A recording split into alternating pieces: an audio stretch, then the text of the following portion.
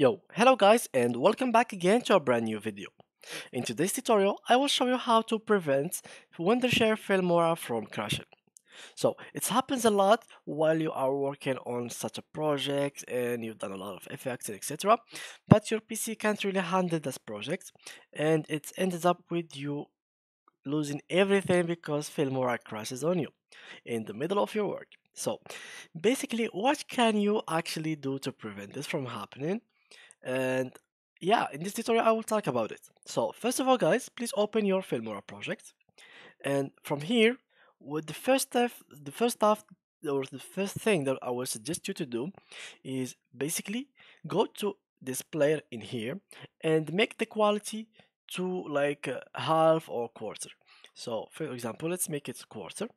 And if we click on play, you see that the quality of the video has become lower. Well, it is not lower in reality because it's just what you see in this uh, in this clip in here. But if you export the video, it will be in the highest quality, which is the full quality. So it will not damage your video quality overall. The second thing that I will suggest you to do is do not add so much effects to your project unless your PC can handle it.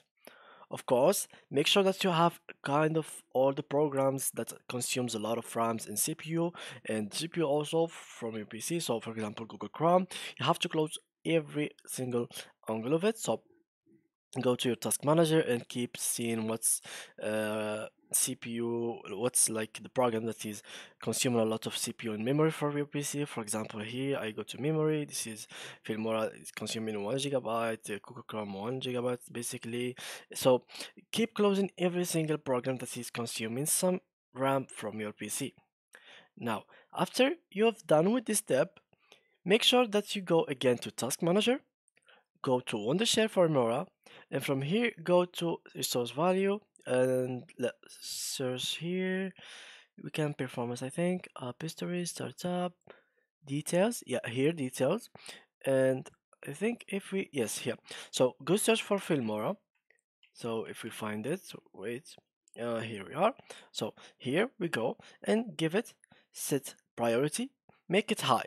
So this will give it high priority for your device and it will give us give it more ram and more cpu uses uh, comparable with other programs that are uh, like uh, running on your pc so yeah guys that's how you can actually prevent your filmora from crashing and make it go even faster while you're working. So thank you a lot for watching and see you in the next tutorial